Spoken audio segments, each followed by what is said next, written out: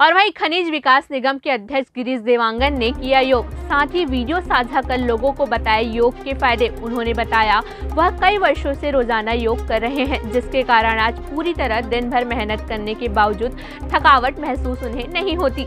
और साथ ही लोगों से अपने व्यस्त दिनचर्या में खुद के शरीर के लिए समय निकाल कर रोज़ाना योग करने की अपील भी की।